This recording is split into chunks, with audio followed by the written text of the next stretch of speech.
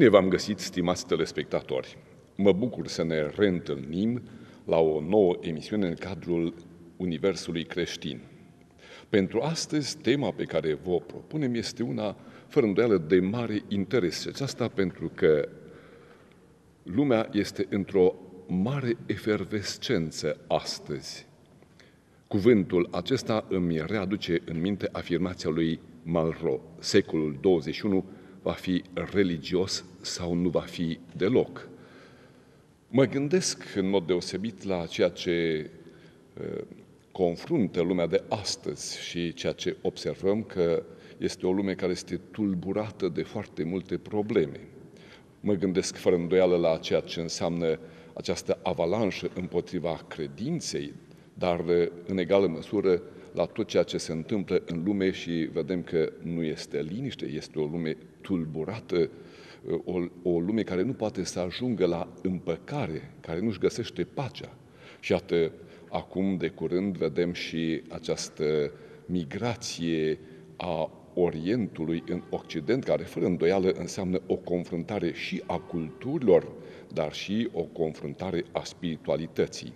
De aceea, iată, vedeți, pentru că, fără îndoială, din uh, acest punct de vedere, observăm că uh, a fi religios astăzi înseamnă a avea un anume comportament și o anume ținută, ne face să ne gândim fără îndoială și la uh, Malro și să ne punem întrebarea, secolul acesta 21 pe care l-am început, uh, împlinește cuvântul lui Malro și s-ar părea că da, pentru că vedem că foarte multe probleme cu care se confruntă el sunt, uh, de fapt, legate de acest aspect al religiei. Pentru astăzi am ales o temă care spuneam că este de mare interes. Creștinism și contemporaneitate. Am invitat pentru aceasta un preot tânăr, pe părintele Marius Daniel Profir. Bine ați venit, preacucernice părinte! Bine v-am găsit! Părinte slujitor, preot slujitor la Biserica Cimiturului Buna Vestire din Iași și secretar la Protopopiatul 2 Iași. Uh, părinte, înainte de a începe discuția noastră, uh, v-aș ruga să ne spuneți uh, câteva cuvinte despre faptul că, iată, dumneavoastră sunteți preot la cimitir. Ce sentimente aveți în această postură de preot la cimitir? Întâi de toate, aș dori să-mi permiteți să vă mulțumesc pentru invitația pe care mi-ați făcut-o de a vă fi alături în această emisiune. În al doilea rând, de a-mi exprima speranța că telespectatorii acestei emisiuni vor avea, într-adevăr, folos duhovnicesc din discuția pe care o vom avea și să, să vă fac o mărturisire în același timp. Folosesc termenul pentru că sunteți preot, pentru că sunteți părinte.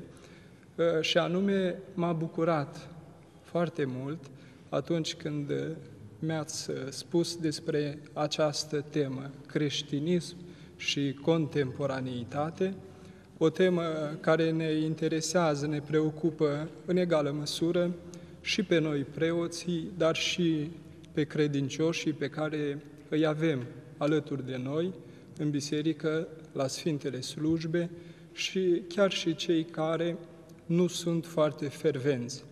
Dar ca să revin la întrebarea Sfinției voastre, aș uh, vrea să spun că, și n-aș dori să folosesc un clișeu, dar uh, sentimentul pe care îl are un slujitor al uh, Sfântului Altar nu poate să fie așa de ușor descris în cuvinte și mi-amintesc cu plăcere de începuturile preoției, care, preoției mele, care au avut loc uh, într-o parohie smerită din mediul rural, spun smerită referindu-mă la numărul uh, de familii, până într-o sută de familii, acolo unde am slujit șapte ani și jumătate, uh, dar acest sentiment m-a urmărit, m-a însoțit încă de la începuturile preoției și pot uh,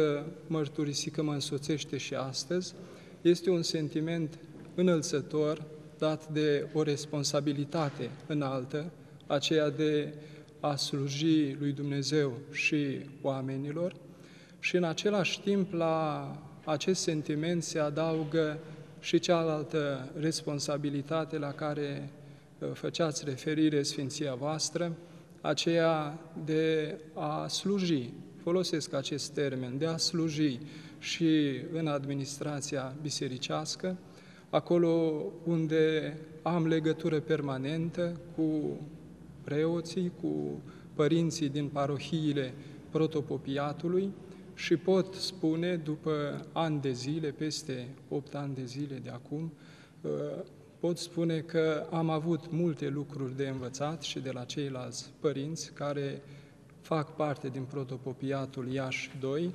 și cu siguranță voi avea de învățat și în continuare.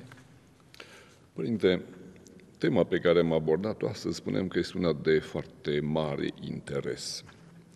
Este de mare interes uh, în contextul vremii tulburate pe care noi o trăim.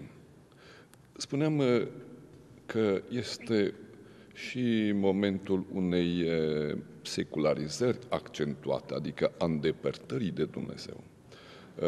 De asemenea că, iată, este momentul confruntării unor, unor culturi diferite, a unor spiritualități diferite.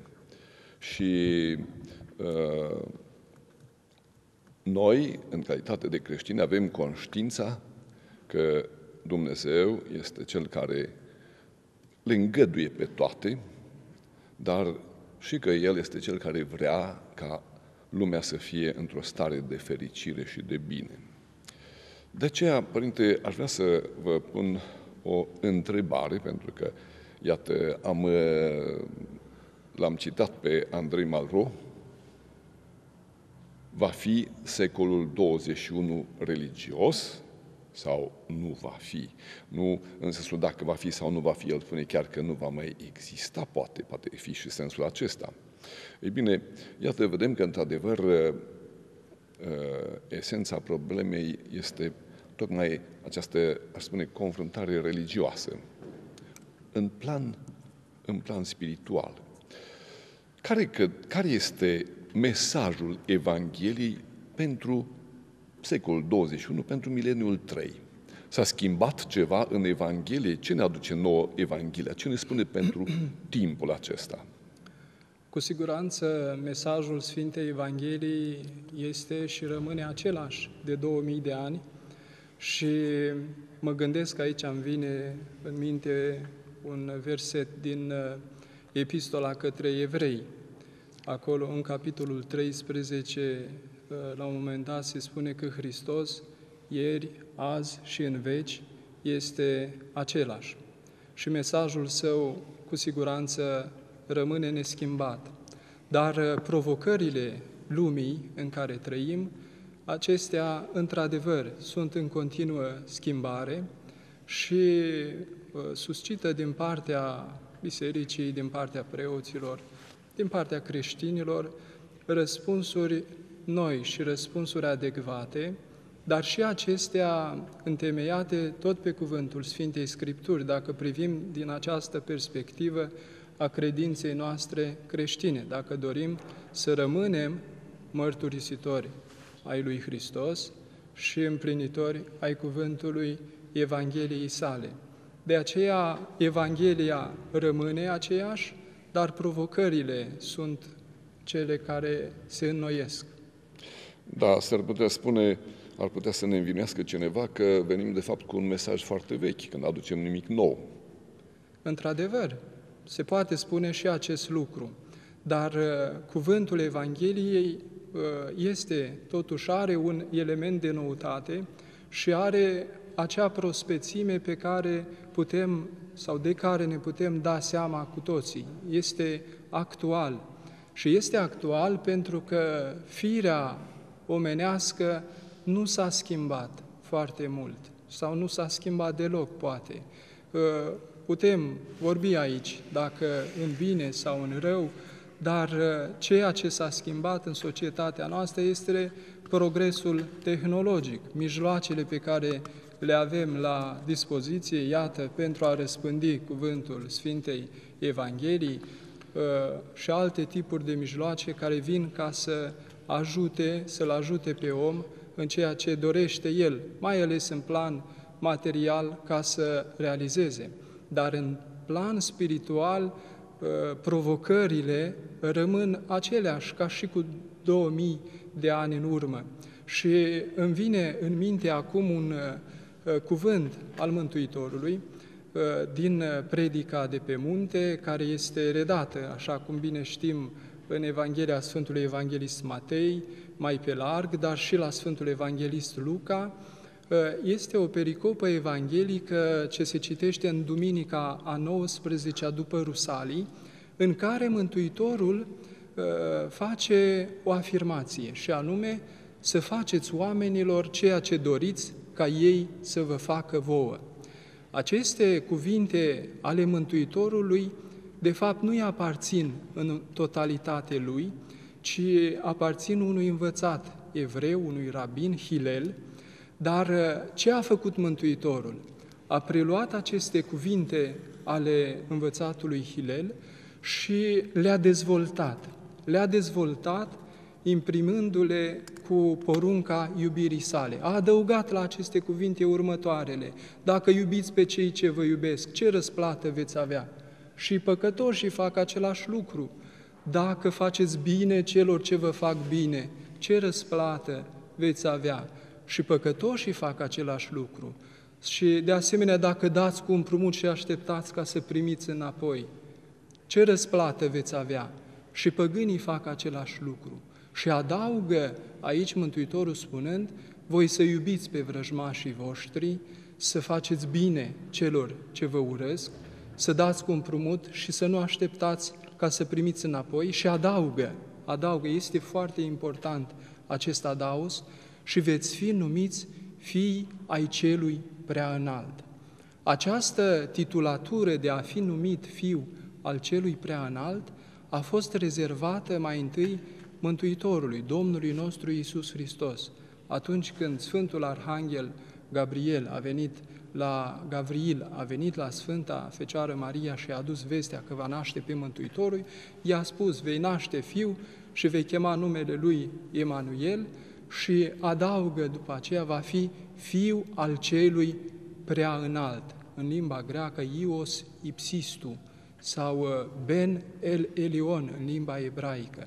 Iată așadar că cei care aderă la mesajul Mântuitorului, la porunca iubirii sale, aceștia sunt așezați de către El pe, acea, pe aceeași treaptă cu sine, în apreciere înaintea lui Dumnezeu, de a fi numiți fii ai celui prea înalt, fii ai lui Dumnezeu. Și această temă cu siguranță poate fi dezvoltată și este de actualitate, într-adevăr, pentru noi, pentru creștinii pe care îi avem în biserică, pentru că de multe ori trecem cu vederea ceea ce se așteaptă de la noi sau ceea ce înseamnă creștinismul pentru noi, preoții, pentru creștinii noștri pe care îi avem în grijă din partea lui Dumnezeu. Părinte, spuneți că firea omului nu s-a schimbat.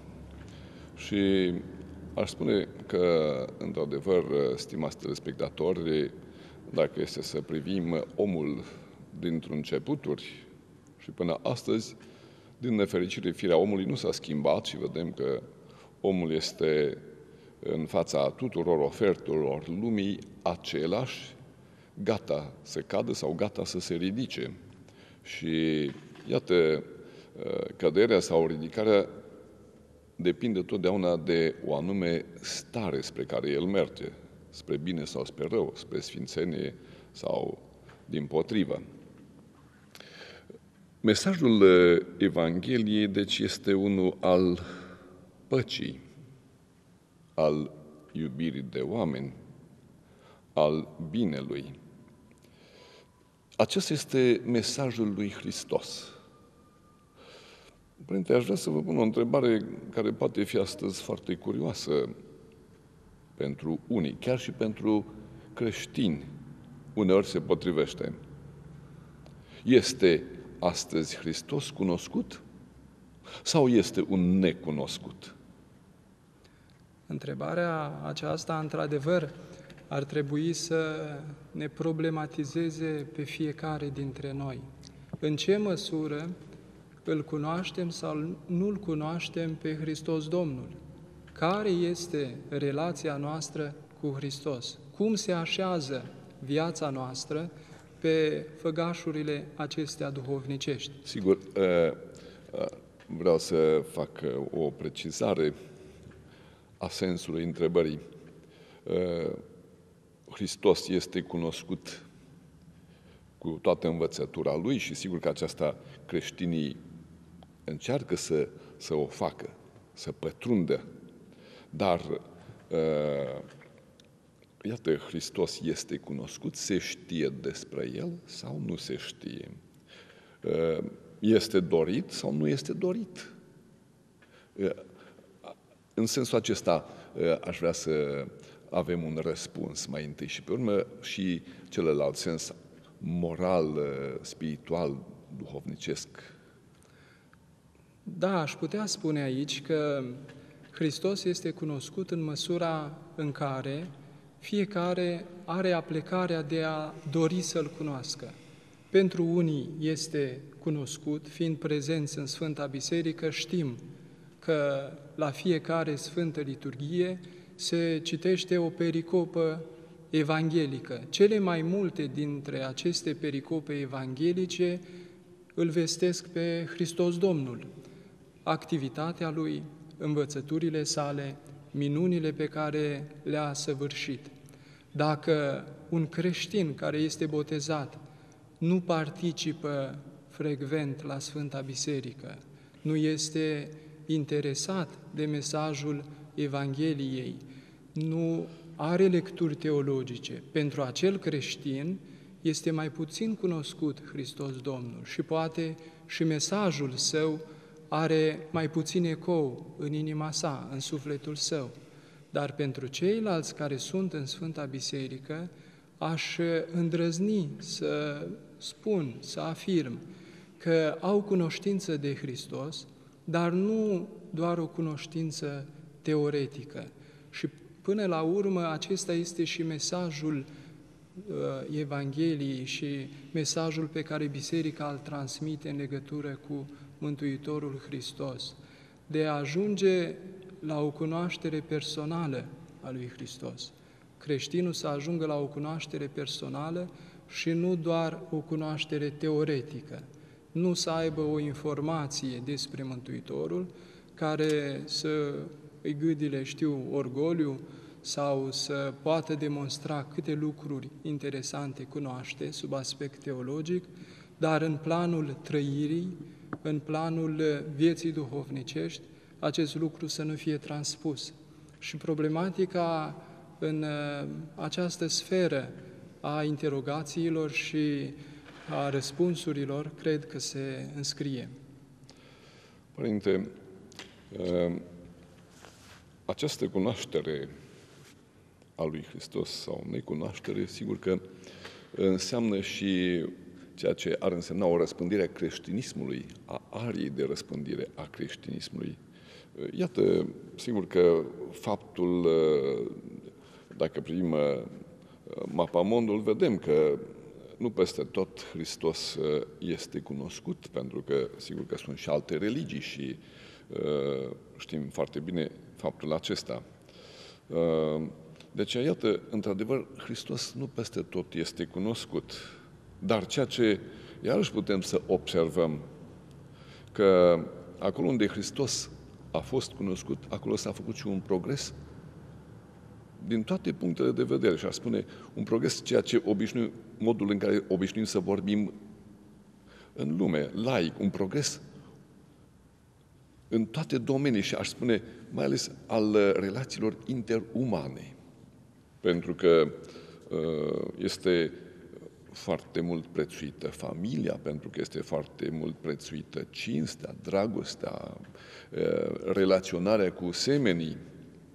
Uh, Ori iată că vedem că acolo unde Hristos lipsește, aceste uh, deziderate sunt în suferință.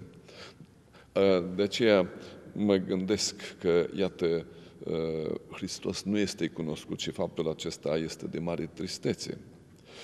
Mă gândesc de asemenea că, iată,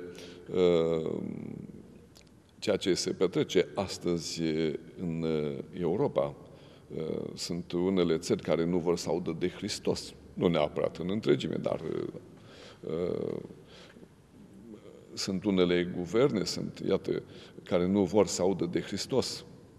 Aici, în biserica noastră, uh, în anul 2006 am avut un simpozion uh, la care am avut ca invitați, între alții, pe academicianul Constantin Ciopraga și pe profesorul Alexandru Husar, și Alexandru Husar, se știe, era membru corespondent al Academiei și el, și amândoi, atunci când încă România nu intrase în, în uh, Uniunea Europeană, uh, pentru că noi uh, am vorbit atunci despre contribuția ortodoxiei la înălțarea Europei, amândoi au remarcat faptul că Europa are rădăcini creștine și de data aceasta îl citesc pe Alexandru Husar, el a spus așa, ridică ceea ce este amprentă creștină din Europa și nu mai rămâne nimic.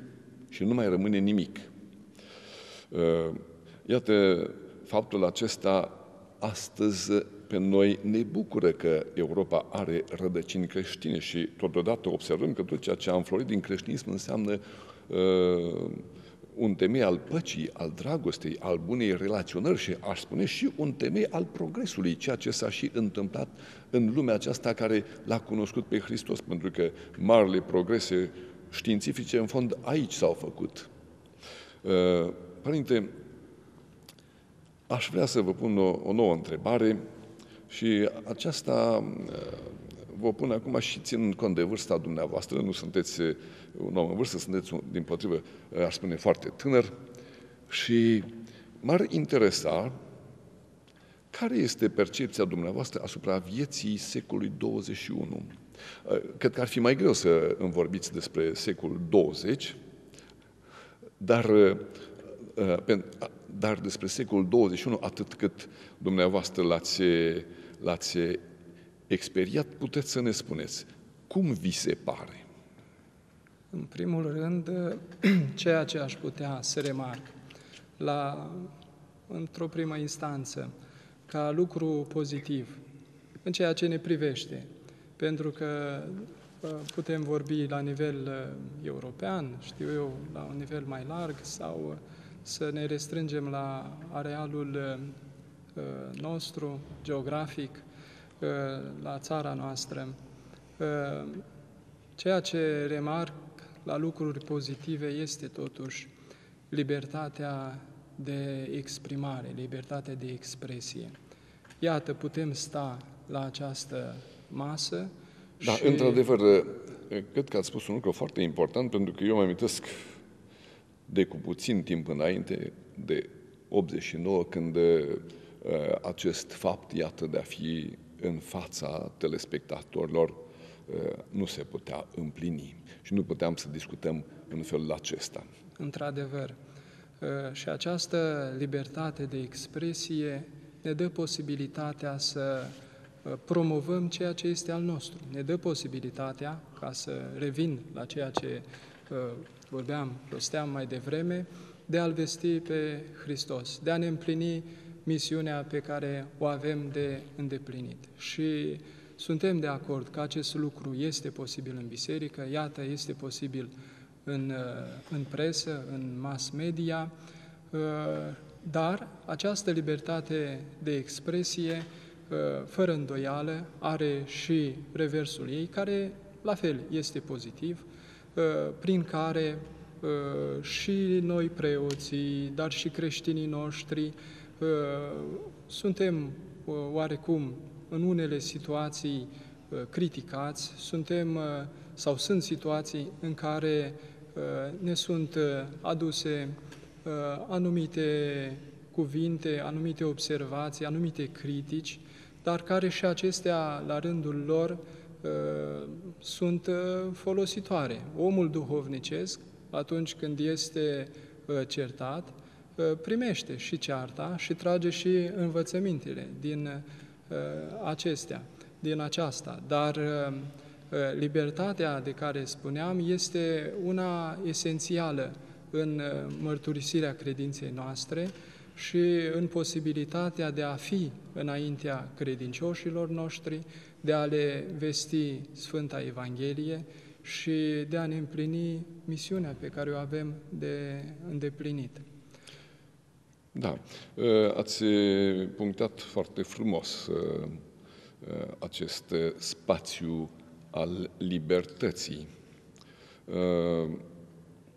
Eu mă gândeam și așa, privind ceea ce se întâmplă în lume, să discutăm, pentru că la început am vorbit despre o lume tulburată, despre o lume în care, iată, nu este liniște, despre o lume în care nu este pace. Vedem ce se întâmplă în relațiile internaționale. Ehm, toți fac declarații pacifiste și toți vor binele, dar totul este, din nefericire, ca un uh, vulcan gata să, să izbucnească. Și iată, uh, avem această libertate, dar în acest context de mare tulburare. Uh, părinte, în ce măsură liniștea secolului este sub semnul relației cu Dumnezeu? Liniștea secolului este greu de definit și de cuprins. Dar uh, ceea ce ne propune uh, Evanghelia este pacea duhovnicească la care putem să ajungem fiecare dintre noi. Și mă gândesc uh, la această pace duhovnicească ce nu este ușor de obținut. Adică, pentru a ajunge la pace duhovnicească, de cele mai multe ori creștinul și omul până se înțelepțește, creștinul în special, trece prin diverse încercări, are multe acumulări cognitive, multe acumulări duhovnicești. Toate acestea puse în relație cu Hristos și cu Harul lui Dumnezeu pot ca să aducă și pacea, pot să aducă și liniștea. Dar pacea nu există de la sine, nu este un dat pe care îl avem, l-am așezat undeva și suntem liniștiți. Pentru a avea pace, pentru a avea dragoste, pentru a avea virtuțile creștine, este nevoie ca să fim activi, este nevoie ca să luptăm pentru ele. Uh, Harul lui Dumnezeu, acolo unde uh, nu există și prospețime, activism, dorință de a face lucruri bune, unde nu există rugăciune, unde nu există dorința de a face bine celui de lângă tine, unde uh, toate aceste comandamente creștine nu sunt împlinite, uh, Harul Duhului Sfânt uh, se îndepărtează. Și pentru a avea pace ai nevoie de har, pentru a avea liniște ai nevoie de prezența lui uh, Dumnezeu. Pentru a avea, într-adevăr, și vreau să insist asupra unui aspect care privește viața duhovnicească a noastră și a creștinilor, uh, pentru a avea pace, în primul rând, trebuie îndepărtat păcatul. Ce înseamnă, de fapt, păcatul? La Uh, evrei, termenul de păcat uh, însemna, de fapt, ratarea țintei. Atunci când omul a căzut în păcat, de fapt, și-a ratat ținta pe care i-a stabilit-o Dumnezeu, scopul pentru care el a fost creat.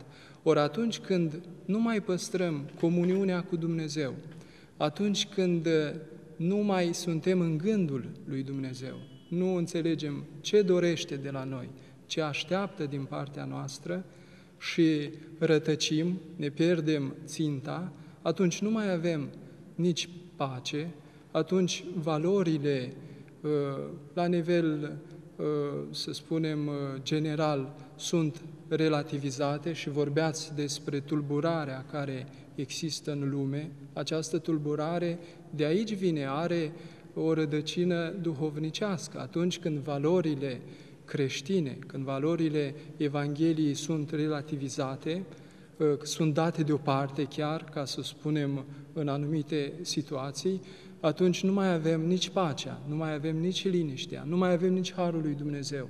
Și chiar dacă Dumnezeu ne poartă de grijă, avem și darul libertății. Dar libertatea, fără Harul lui Dumnezeu, de cele mai multe ori duce la deviere, duce la pierderea păcii, a liniștii și a limpezimii. Și sunt lucruri valabile atât în plan personal, cât și în plan general, social, ă, acestea cu privire la modul în care relaționează statele între ele, dacă ar fi să vorbim de acest lucru, dacă nu mai au uh, acea morală creștină, conducătorii noștri, dar și în plan personal, nu putem să avem liniște, nu putem să avem pace dacă nu știm de iertare, dacă nu știm de iubire, dacă nu știm să împlinim virtuțile pe care Hristos ne îndeamnă ca să le împlinim. Deci am putea să spunem că o conștiință creștină pe care o are cineva este cea care îl călăuzește totdeauna la împlinirea acestor deziderate pe care omenirea le are de, de pace, de împăcare. Da, putem să sintetizăm, vedeți, mesajul Evangheliei în aceste cuvinte, iubire, pace, cinste. Din nefericire vedem că tocmai acestea lipsesc astăzi și vedem ce se întâmplă în lume. Uh, n-aș putea să spun uh, că noi românii suntem, uh, din nefericire, campionii tuturor răutăților și a necinstei. Vedem ce se întâmplă în jurul nostru, pentru că, iată, tocmai de curând s-a petrecut un fapt pe care nu mai pomenesc, dar care a cuprins și, practic, a cuprins întreaga lume. Și, iată, stările acestea de corupție, corupția, în fond, înseamnă, într-un anume fel, să te rupi de, de, de, de bine, de adevăr, de frumusețe, de, de tot ceea ce este vrednic. Ă, această stare este dominantă. Cum credeți că se explică faptul acesta, Părinte? Explicația pe care aș găsi-o este tot în ceea ce rosteam mai devreme. O lipsă a conștiinței creștine, de care spuneați, o conștiință uh, creștină adevărată, nu doar mimată, dar uh, în același timp și o lipsă de adâncire în ceea ce și de înălțare în ceea ce uh, privește viața autentică creștină, viața împreună cu Hristos Domnul. De cele mai multe ori, uh, problemele acestea morale la care făceam referire, dar și credința în ansamblul ei, uh, nu este înțeleasă așa cum ar trebui să fie înțeleasă. Adică întâlnim chiar la uh, credincioșii pe care îi cunoaștem sau diverse persoane cu care venim în contact, acea concepție potrivit căreia credința creștină ar fi un set de reguli, un set de norme, de porunci care ar trebui să fie respectate și totul este bine. Nu este adevărat întru totul, ci credința înseamnă, de fapt, calea către împărăția lui Dumnezeu. Nu înseamnă doar un set de reguli pe care le-ai împlinit și gata, ți-ai făcut datoria. Înseamnă o prezență vie a lui Hristos Domnul în viața noastră. Și uh, spun aceasta gândindu-mă și la faptul că uh, atunci când uh, omul are tendința de uh, a săvârși de a, sau de a nu săvârși un anumit lucru. Am întâlnit concepția potrivit căreia sau chiar reproșul că de ce există porunci în biserică, porunci în Sfânta Scriptură. Termenul acesta pe unii chiar ar putea să îi supere. Pentru Dar că, insist, Pentru că ei consideră că le suprimă libertatea. le consideră că le suprimă libertatea. Dar este o falsă impresie aceasta, pentru că uh, acesta este termenul de poruncă în limba ebraică, în Sfânta Scriptură, e termenul de mitzva, mitzvot, la plural, porunci, poruncile lui Dumnezeu, Iahve mitzvot. Aceste porunci, de fapt, nu suprimă libertatea omului, ci îi respectă libertatea omului. Sunt acele porunci cu caracter prohibitiv, să nu furi. Păi dacă nu furi, în felul acesta îl respecti pe semenul tău. Să nu ucizi. Dacă nu ucizi, respecti libertatea semenului. Dumnezeu este singurul care dă viață și numai El poate să o ia. Aceasta este concepția Sfintei Scripturi.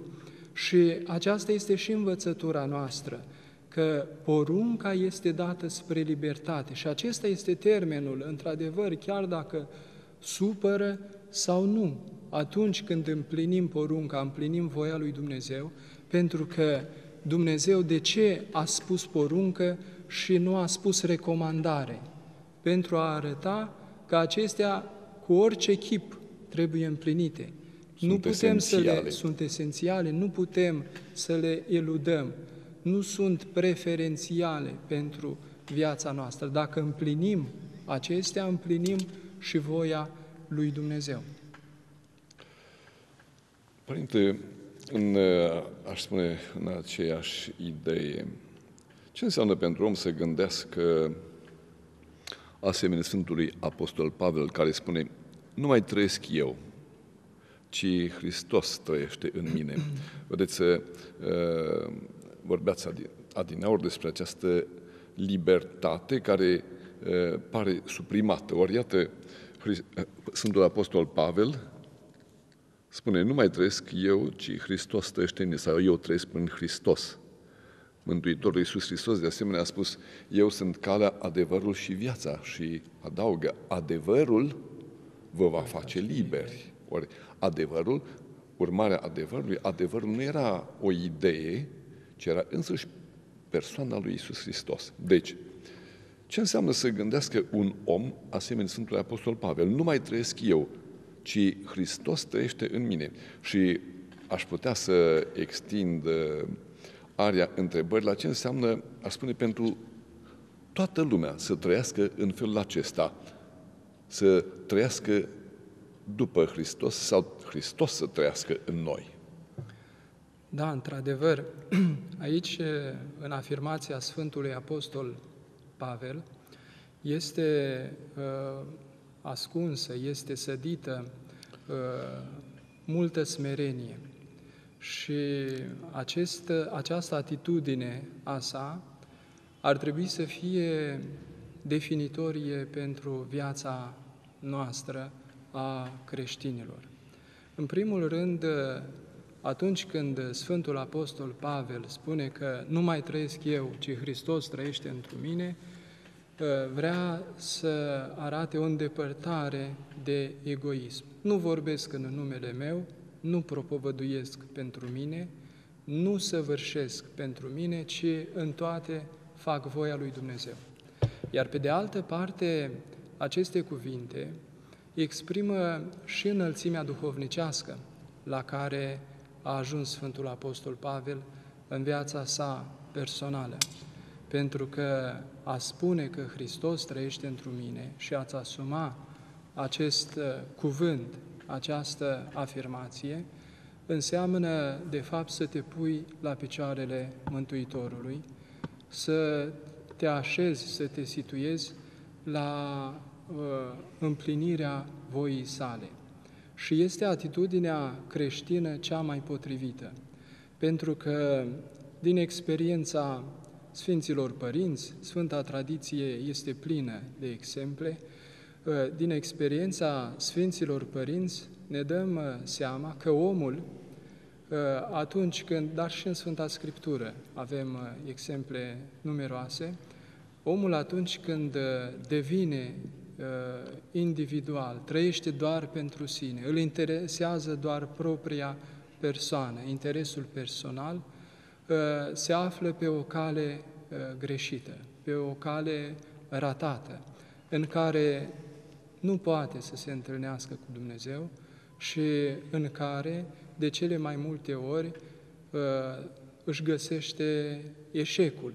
Ori atunci când spunem că Hristos trăiește într mine, facem o mărturie personală, referindu-mă la Sfântul Apostol Pavel, dar ne situăm și în cadrul unei comunități, a comunității creștine, pentru că Hristos este uh, sădit în noi încă de la botez și noi suntem sădiți pe Hristos, așa cum spune și Sfânta Evanghelie că uh, Hristos este via, iar noi ceilalți botezați în numele Sfintei Trăimi suntem mlădițele, suntem aceia care am fost altoiți pe Hristos și în felul acesta, având conștiința uh, apartenenței la Hristos Domnul, la valorile sale, la învățătura pe care ne-a lăsat-o și împlinindu-le pe acestea în viața noastră, ajungem să îl imităm pe Hristos, așa cum spunea un părinte al Bisericii. Am impresia, părinte, că parcă se așteaptă o nouă plinire a vremii. pentru a explica pentru uh, telespectatori ce înseamnă lucrul acesta, aș ruga să-mi permite să spun câteva cuvinte. Uh, Mântuitorul Iisus Hristos a venit în lume la plinirea vremii. Plinirea vremii a însemnat, de fapt, momentul în care lumea, cuprinsă de rău, și-a dat seama că orice încercare a ei de a se salva este sortită eșecului. Și atunci când a venit Mântuitorul și a vorbit despre pace, despre dragoste, despre egalitate, despre faptul că toți suntem și ai aceleași părinte, că toți suntem egali, că nu există diferență între bogat și sărac, între împărat și ostaș, că toți suntem uh, uh, frați între noi. Sigur că mesajul acesta a prins foarte mult în lume. Nu l-au primit toți cu drag, pentru că nu l-au primit cei care îl încălcau și cei care aduceau toate relele, dar ei l-au primit și iată, faptul acesta a fost de natură ca lumea să-și regăsească ritmul și rostul. Ei bine, iată, vedem astăzi toate încrâncenările care domină lumea în plan internațional. Vedem toate discuțiile care se poartă sub uh, egida unor înalte foruri, ONU, multe organizații în acestea, nenumărate organizații, consilii, prezența NATO, toate au ca deziderat pacea, binele, progresul omenirii, și cu toate acestea, iată, ă, lumea trăiește într-o sete de liniște, trăiește într-o sete de pace. Parcă totul, vedem, este sortit eșecului. Și atunci ă, spuneam că parcă ă, ar fi nevoie de o nouă plinire a vremii și nu atât ca lumea să ajungă Uh, la această stare de răutate, cât că este suficientă starea de răutate pe care o trăim astăzi, cât la faptul că lumea ar trebui să se întoarcă la Hristos. Sigur, Hristos uh, uh, nu va mai veni încă o dată așa cum a venit, îl așteptăm să vină de acum pentru judecata lumii, este altceva, dar noi îl așteptăm mai ales pe Hristos să vină în inimile noastre. Și de fapt El vine, dar noi trebuie să-L primim. Ori această inimă deschisă este cea care ar trebui, ar trebui să uh, ne aducă nouă acea împlinire a vremii. Părinte, Hristos ne spune, fără mine nu puteți face nimic. Uh, cred că aceste cuvinte ale Mântuitorului ar trebui, ar trebui să dea mai mult de gândit lumii de astăzi. Ce puteți să ne spuneți? Într-adevăr, cuvintele Mântuitorului au uh, foarte mult adevăr. Fără mine nu puteți să faceți nimic, dar ele ar trebui să fie înțelese și dintr-o perspectivă mai largă. Nu puteți face nimic din ceea ce contează, fără, sau nu putem face nimic din ceea ce contează, uh, fără Hristos Domnul. De fapt, ca să precizăm, nu puteți face nimic bun. Acesta nimic este bun. sensul. Nimic bun, într-adevăr. Dar și cu o proiecție către viața veșnică. Pentru că poate, fără a respecta cuvântul Mântuitorului, putem realiza diverse lucruri aici pe pământ, materiale sau de altă natură. Dar având o perspectivă mai largă, așa cum ne cere Mântuitorul, de a nu fi mărginiți, ci de a privi uh, și în viața veșnică, uh, toate acestea uh, nu au nicio relevanță. Ceea ce contează este veșnicia. Fără Hristos Domnul nu putem face nimic pentru înveșnicirea noastră, pentru mântuirea sufletului nostru. Cu alte cuvinte, în această cheie aș înțelege uh, cuvintele Mântuitorului. Și Uh, într-adevăr, acest lucru a fost uh, probat și în viața Sfinților și ei sunt cei care depun mărturie ca aceia care au fost în legătură cu uh, Mântuitorul, care au avut o relație vie cu Hristos Domnul și au uh, înțeles nu doar viața lor personală, ci au înțeles și mersul lumii acesteia, de care făceați amintire, Sfinția voastră, care este uh, într-o încordare uh, deosebită, dacă e să privim la nivel politic sau la relațiile dintre state, mai ales în perioada pe care o uh, traversăm, dar uh, uh revin și spun, dacă nu vom ști ca să avem relația cu Hristos Domnul, pentru că spuneați de o nouă venire a Mântuitorului. În Apocalipsă, care este în cartea Apocalipsei din uh, Scriptura Noului Testament, uh, este uh, prezentată această viziune a venirii Mântuitorului a doua oară, dar este acolo un verset foarte interesant care spune despre Mântuitorul. Iată, eu stau la ușă și bat de va auzi cineva uh, și îmi va răspunde, voi intra la El și voi cina cu El și El cu mine. Deci Mântuitorul ne caută pe fiecare dintre noi, uh, ne caută ca și persoane, ne caută ca și comunitate.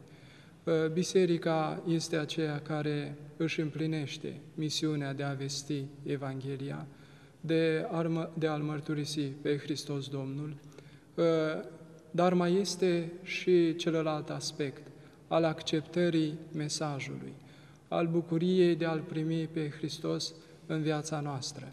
Ori poate că aici este cheia înțelegerii lucrurilor. Mântuitorul nu forțează pe nimeni, El stă la ușă și bate. Dacă există dorința de a primi iubirea în viața noastră, dacă există dorința de a avea pacea de care vorbim, dacă există dorința de a trăi autentic viața creștină, atunci nu rămânem indiferenți la această bătaie, la, această, la ușa inimii, la această chemare a Mântuitorului și există și răspunsul nostru. Vedeți cât de frumos sunt prezentate lucrurile. Creatorul bate la ușa creaturii sale pentru a o chema și pentru a o mântui, pentru a învăța să iubească și pentru a-i descoperi rostul prezenței sale și a existenței sale în lumea aceasta. Este tulburătoare această imagine pentru noi creștinii și numai o inimă și un suflet insensibil nu ar rezona la acest mesaj al Sfintei Scripturi. Numai acela care nu-i pasă de ceea ce spuneam este esențial, nu-i pasă de veșnicia sa, nu răspunde și la chemarea Mântuitorului, nu răspunde și la îndemnul Bisericii de a cunoaște mesajul Evangheliei, de a-L primi pe Hristos și, în cele din urmă, de a face o lume mai bună și aici pe pământ, ca o pregătire pentru viața veșnică. Pentru că nu putem să, nu putem să înțelegem prezența noastră aici doar uh, pentru a face o lume ideală. Raiul nu este pe pământ, ci uh, este creat de Dumnezeu în ceruri, acolo unde ne așteaptă și pentru care și noi ne pregătim în viața noastră. Părinte, adineori vorbeam și despre o confruntare a culturilor și a, a, a spiritualităților. Sigur, iată, vedeți, această uh, vreme a migrației ne aduce nouă și această experiență. Uh, ce atitudine trebuie să avem noi creștinii față de, iată, cei care vin în uh, număr foarte mare și care sunt necreștini? Am sesizat uh, zilele acestea și în săptămânile care au trecut, în spațiu public au fost numeroase luări de poziții, de poziție pe această temă, dar Uh, nu putem avea o altă atitudine decât atitudinea uh, creștină, adică de a-L uh, respecta pe Mântuitorul, de a-L mărturisi, de a ne crește copiii în dragostea față de Hristos, de a respecta valorile bisericii noastre străbune și atunci orice invazie, orice s-ar abate peste capetele noastre, nu ne va afecta, așa cum spunea și în alt preasfințitul Părinte Mitropolit Teofan, într-o uh, luare de poziție pe această temă, dacă familia creștină ar da naștere tuturor copiilor pe care îi cheamă Dumnezeu, atunci n-am avea nicio grijă înaintea valurilor de imigranți care vin din altă parte. Deci ceea ce ni se cere nouă creștinul și ceea ce trebuie să facem este să manifestăm dragoste. De altfel, nici nu s-ar putea altfel, pentru că uh, cu toții suntem frați, chiar și cei care vin aici și atunci noi trebuie să avem această dragoste față de frații noștri pe care i-a creat tot Dumnezeu. Uh, aș vrea ca în încheiere, Părinte, să vă întreb, starea de păcat în care trăiește lumea are influența asupra vieții și a relațiilor interumane? Ați atins acest subiect adineauri, dar pentru final uh, v-aș ruga să repetați, să spuneți. Cu siguranță, starea de păcat, așa cum spuneam, ca o ratare a uh, țintei, ca o ratare a scopului existenței noastre aici pe pământ, ne duce în locuri greu de suportat, dacă este să vorbim în plan personal, de multe ori ajungând la crize personale și la situații fără răspuns, dar și în plan general starea de păcat, de ieșire de sub ascultarea lui Dumnezeu, poate să ducă societăți întregi în impas și în situații Uh, în situații fără ieșire. Ați vorbit de criză, deci orice criză are ca izvor o stare de păcat. Într-adevăr. Pentru că vedem criza financiară, criza are, pentru că cineva a comis o încălcare. Uh, părinte, o ultimă idee. Nu putem avea pretenția că vom schimba lumea, dar nici nu trebuie să fim pesimiști. Hristos ne spune, îndrăzniți, eu am biruit lumea. Și aș vrea, Părinte, pe final să ne spuneți câteva cuvinte, tocmai pe marginea acestor cuvinte ale Mântuitorului. Îndrăzniți, eu am biruit lumea.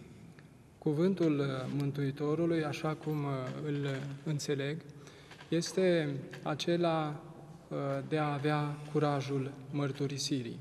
De a avea curajul mărturisirii pentru că el însuși spune, cei care se vor rușina de mine în neamul acesta păcătos, și eu mă voi rușina de ei înaintea Tatălui meu care este în ceruri. Deci, cuvintele Mântuitorului cuprind în sine și uh, o responsabilitate pe care Mântuitorul ne acordă, îndrăzneala pe care El a arătat-o, care era și dumnezeiască, ne împărtășește și nouă de a-L mărturisi pe El, de a avea o viață creștină fără a ne rușina de cei care ne critică pentru aceasta, de a avea mărturisirea curată a inimii noastre și a vieții noastre, prin cuvânt și prin faptă, față de copiii noștri în familie, față de cei dragi ai noștri, dar și față de întreaga societate. Mulțumesc, precucernice Părinte. Stimați telespectatori, uh, din nefericire, timpul uh, acordat, iată, s-a scurs. Vedeți, problemele care le-am discutat sunt într-adevăr uh, deosebit de importante și, aș spune, ardente. În măsura în care am putut, uh, am încercat să le aducem în față, să le conștientizăm și să dăm răspunsul care nu este al nostru unul personal, ci uh, n-am făcut decât să aducem în față Evanghelia, Cuvântul lui Hristos, Cuvântul lui Dumnezeu, care uh, ne spune, fără mine nu puteți să faceți nimic, îndrăzniți, eu am biruit lumea. Am avut ca uh, interlocutor în acest uh, dialog pe părintele Marius Daniel Profir, preot slujitor la Biserica Cimitirului Buna Vestire și secretar al protopopiatului 2 Iași, un preot tânăr, dar așa cum ați văzut, cu o abordare foarte înțeleaptă a problemelor, a problemelor contemporane. Vă mulțumesc, preacucernice Părinte, vă mulțumesc și dumneavoastră, stimați spectatori, pentru răbdarea de a ne fi ascultat și vă aștept la o nouă întâlnire în cadrul Universului creștin. Thank you.